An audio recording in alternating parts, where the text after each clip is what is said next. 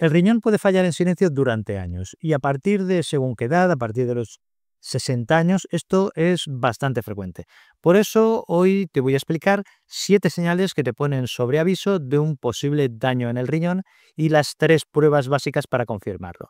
Esto no es para alarmarte, sino que es para actuar a tiempo. Y te explicaré cuándo hay que consultar urgente qué situaciones imitan un problema de riñón y te pueden confundir, y cómo cuidar la tensión, el azúcar y evitar ciertos fármacos de riesgo protegen tus riñones, pero también protegen tu corazón. Pero antes de ver las señales, déjame que te explique rápidamente qué hacen tus riñones, cuál es su función, porque no solo filtran los desechos. Sí que es verdad que los riñones son como una depuradora que funciona las 24 horas del día. Filtran toda tu sangre múltiples veces al día, estos son litros y litros, pero hacen en realidad mucho más. Por ejemplo, regulan tu presión arterial. Y atención aquí porque si tu presión arterial de repente se vuelve muy alta o es difícil de controlar, tus riñones pueden ser la causa. También controlan el equilibrio de agua y sales en nuestro organismo. Producen la hormona que forman los glóbulos rojos, la eritropoyetina. Y los glóbulos rojos ya sabemos que son los que transportan el oxígeno a todas nuestras células del organismo. Y también activan la vitamina D, que es importante para mantener tus huesos fuertes. Es decir, que los riñones son muy importantes. Pero aquí viene lo peligroso, que los riñones tienen tanta capacidad de reserva que pueden seguir funcionando incluso cuando han perdido más de la mitad de su capacidad. Es más, los riñones pueden perder hasta un 70% de su función sin que haya síntomas claros que notes. Es como el testigo de aceite de un coche que cuando se enciende es posible que el problema ya lleve tiempo allí. Por eso es importante conocer las señales tempranas y la primera es una que seguramente has visto o la has leído pero no le dabas mucha importancia. La señal número uno es la orina espumosa. ¿Has notado alguna vez que tu orina deja espuma y que esta espuma tarda en desaparecer? Pues esto puede ser algo sin importancia, puede ser algo tan simple como la fuerza del chorro de la orina, eh, con el contacto con el inodoro o porque hay jabón o algún producto químico en el inodoro. Pero si esta espuma aparece a menudo, varios días seguidos, pues puede ser una señal temprana de que los filtros del riñón, los llamados glomérulos renales, no están funcionando bien y dejan escapar proteínas. La principal proteína que se escapa es la albúmina y cuando se pierde en exceso se acumula espuma. Es como si el riñón soplase burbujas que antes la retenía. Esto no lo tienes que confirmar a ojo. Lo que hay que hacer es pedir una analítica que se llama relación albúmina-creatinina en orina, que abreviado es UACR y que es una prueba que es sencilla, barata, es fiable y si sale alterada, lo que hay que hacer es repetirla al cabo de un tiempo para confirmar el diagnóstico. Recuerda que una espuma ocasional no es un diagnóstico, pero si es persistente, no lo ignores porque cuanto antes se detecta que hay una lesión en el riñón, mejor se puede tratar. La señal número dos es la orina oscura o color té. ¿Has notado alguna vez que tu orina se vuelve más oscura, como si fuera un té muy cargado o un refresco de cola? A veces puede pasar por algo inocente, que no tiene importancia. Puede ser porque has bebido poca agua y la orina está más concentrada, porque has tomado vitaminas como complejos con riboflamina o, o hierro, Puede ser que hayas comido remolacha y esto pigmenta la orina, le cambia el color.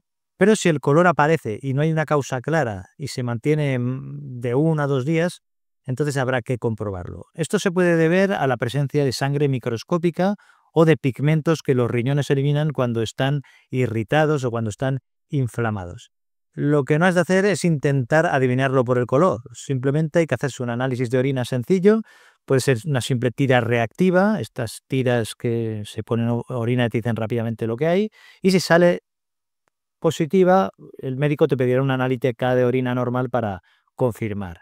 En la mayoría de casos se debe a causas leves o pasajeras, puede ser por una infección, puede ser por piedrecitas en el riñón, pero en personas mayores de 40 años esto no se debe ignorar. A veces puede ser la primera pista de un problema en el riñón, pero también en la vejiga y a veces puede ser un problema importante. Y si además notas fiebre, dolor en el riñón, o sea lumbar o, coágulos, pues has de ir al centro médico de inmediato para que lo valoren. Detectar a tiempo esto es importante, es muy importante. La señal número 3. levantarte varias veces por la noche a orinar. ¿Te pasa que cada noche tienes que levantarte una, dos o más veces para ir al baño? Pues si te pasa esto, se le llama médicamente nicturia, aunque muchos le llaman nocturia. Lo podemos llamar de cualquiera de las dos formas, pero cuando el riñón empieza a debilitarse, lo que ocurre es que pierde parte de su capacidad para concentrar la orina. Y en lugar de guardar el agua y eliminarla durante el día, lo que va haciendo es irla soltando durante la noche. Es como si fuera una esponja que ya no exprime bien el líquido. Pero cuidado, que no todo lo que te despierta por la noche para orinar viene del riñón. Puede tener otras causas y habrá que distinguir cuál es la causa. Puede verse también a una próstata agrandada en el caso de los hombres, a tomar diuréticos por la tarde y esto puede hacerte orinar por la noche, a una diabetes mal controlada, incluso una apnea del sueño que hace que los riñones trabajen más. Si esta nicturia o nocturia es algo nuevo o va a más, o notas cansancio, edema o espuma en la orina, pues ves al médico para que te hagan una analítica, que te pidan la creatinina o el cociente albúmina creatinina que hemos comentado antes, para comprobar cómo están tus riñones. Detectarlo a tiempo evita complicaciones y mejora tu descanso. Señal número 4. Hinchazón o edemas. Notas que los tobillos están más marcados, los anillos más apretados o los párpados hinchados al despertar. Pues este líquido en exceso, lo que llamamos edema, puede aparecer cuando el riñón ya no elimina bien el sodio y el agua el líquido se filtra hacia los tejidos, sobre todo donde la piel es más fina, como por ejemplo alrededor de los ojos o en las zonas que están mucho tiempo hacia abajo, como por ejemplo los tobillos. Es como si el cuerpo se volviera una esponja que ya no puede escurrir el agua. Es la comparación que he hecho antes. Pero no todo edema viene del riñón. Esto también hay que tenerlo en cuenta. También puede verse a una insuficiencia cardíaca o puede verse a varices o puede ser por medicamentos, como algunos de los que se utilizan para la presión arterial o incluso los antiinflamatorios. Por eso, si la hinchazón es persistente y aparece junto a falta de aire o notas que ganas peso rápidamente, consulta cuanto antes para que tu médico lo valore. Te pedirán la analítica con la creatinina, la albúmina, el sodio y revisarán tu medicación. Detectarlo pronto pues ayuda a proteger tu riñón y tu corazón. La señal número 5 es el cansancio, la debilidad, incluso la palidez. Notas últimamente que tienes más cansancio, incluso aunque duermes bien. Te falta energía o te ves con más palidez. Pues esto podría ser una anemia, pero en este caso causada por el riñón. Los riñones, ya hemos dicho antes, que no filtran simplemente la sangre. Además, una de sus funciones es producir una hormona que se llama eritropoyetina, que es la que envía un mensaje a la médula ósea y le dice, oye, fabrica más glóbulos rojos. Cuando el riñón se debilita, este estímulo se reduce y el cuerpo produce menos sangre. Y si hay menos glóbulos rojos, pues costará más que llegue el oxígeno a las células. Es como si el motor del cuerpo funcionara con menos combustible. Te vas moviendo, pero sin fuerza. Esto no es la típica anemia por falta de hierro, aunque muchas veces se pueden combinar la anemia por la causa renal de falta de eritropoyetina con la de falta de hierro. Si sientes cansancio persistente, pues lo que hay que hacer es pedir una analítica que mide la hemoglobina, la creatinina y la ferritina y así se puede saber si la causa está en los riñones, está en otra parte o está en varios lugares, que también puede ser. Detectar esta anemia renal a tiempo pues mejorará tu energía, la memoria y también el corazón. La señal número 6 es el picor generalizado, el prurito por todo el cuerpo. Te pica la piel sin tener un sarbullido, y sobre todo por la noche después de la ducha, pues este picor, si es persistente y no hay marcas visibles, podría tener un origen en los riñones. Cuando los riñones se debilitan, cambian los niveles de fósforo, de calcio y de algunas otras sustancias que circulan por la sangre. ¿Y qué pasa con esto? Pues que esto altera la forma en que los nervios de la piel transmiten las señales y el cuerpo lo traduce como picor, como prurito. ¿Dónde suele sentirse más? Pues sobre todo en la espalda, en brazos, en piernas y a menudo no mejora ni con cremas ni con antihistamínicos, que es lo que se suele dar. Y a veces es tan molesto que interrumpe el sueño y genera irritabilidad en la persona. Pero si te pasa esto, como es lógico, no lo ignores. Si el picor es continuo, es inexplicable, pues se lo preguntas a tu médico, consultas, te pueden pedir la creatinina, el fósforo, el calcio, la PTH, que es otra hormona relacionada, para revisar también tu función renal y mientras tanto mantén la piel bien hidratada y evita el agua muy caliente o los jabones que sean muy fuertes. Detectarlo a tiempo, una vez más, permite ajustar el tratamiento y mejorar tu descanso. Señal número 7. Cambios en las uñas o en la piel. A veces los riñones hablan a través de las uñas.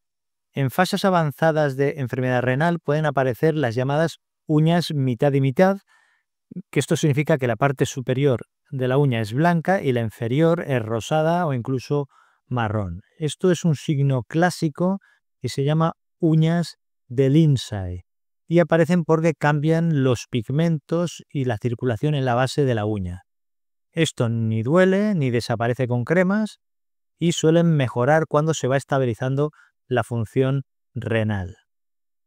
También se puede afectar la piel, como he dicho, y notarse palidez o una piel más amarillenta o más apagada y una sensación de sequedad persistente que no mejora con cremas. Te pones cremas pero sigues igual. Aquí hay que tener claro que esto no duele, pero son pistas de que el cuerpo está acumulando sustancias que el riñón ya no filtra bien. Por supuesto, estos cambios no siempre significan que el problema lo tengas en el riñón. Algunos de estos problemas pueden aparecer también con la anemia en general, con el hígado graso o con alteraciones hormonales. Pero si a estos cambios que he comentado se suman picor, hinchazón o cansancio, pues conviene pedir una analítica como las que he comentado antes, de creatinina, fósforo, calcio, hemoglobina, lo que el médico además considere conveniente, porque, como estoy repitiendo, detectarlo pronto permite actuar antes de que el daño vaya avanzando. Y además rápidamente te explico que hay cuatro señales más que aparecen cuando el problema de la debilidad en el riñón o de daño en el riñón ya está más avanzado. La primera es el sabor metálico en la boca. Es como si estuvieras chupando una moneda constantemente y esto ocurre porque se va acumulando una sustancia que se llama urea. En segundo lugar, la pérdida de apetito persistente. ¿Por qué pasa esto? Porque las toxinas acumuladas provocan náuseas y un rechazo a la comida. En tercer lugar, moratones con más facilidad. Te salen moratones por cualquier golpe pequeño porque lo que pasa es que los riñones afectan a la función de las plaquetas y estas funcionarán peor y habrá también fragilidad en los capilares. Y por eso pasa esto. Después tenemos el síndrome de las piernas inquietas, que es una necesidad irresistible de mover las piernas que no te deja descansar, sobre todo por la noche. Esto es frecuente en insuficiencia renal avanzada o en personas que están en diálisis y se suele asociar a que hay una carencia de hierro. Si tiene estas cuatro últimas señales, el problema renal puede estar ya en fases avanzadas, o sea que ten en cuenta esto. Pero precisamente por eso es muy importante detectar las primeras señales que te he comentado, que te he explicado, porque si notas algunas de estas señales, como he dicho, la espuma de la orina persistente, una orina más oscura o muy oscura, el levantarte a orinar muchas veces por la noche, la hinchazón, el cansancio, el picor o los cambios en la piel o en las uñas que he descrito, pues no te alarmes, pero tampoco lo ignores. El daño renal se puede frenar o se puede incluso en algunas ocasiones detener si se detecta a tiempo. Ahora viene algo importante y es qué hacer, qué hacemos con esta información. Pues si tienes síntomas como los que he explicado, algunos de ellos, lo mejor que puedes hacer es comentarlo a tu médico y te puede pedir tres pruebas básicas, entre otras. Primero, la creatinina, para calcular después el filtrado glomerular, que se llama EGFR.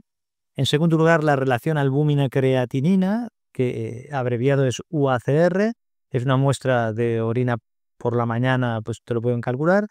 Y en tercer lugar, te pueden pedir una analítica de orina general. Esto entre otras cosas, porque son pruebas sencillas, son económicas y nos dan bastante información. Aparte de esto, ¿qué hacer? Pues es muy importante cuidar los hábitos. Por ejemplo, el mantener en primer lugar la presión arterial controlada. En segundo lugar, el cuidar el azúcar en la sangre.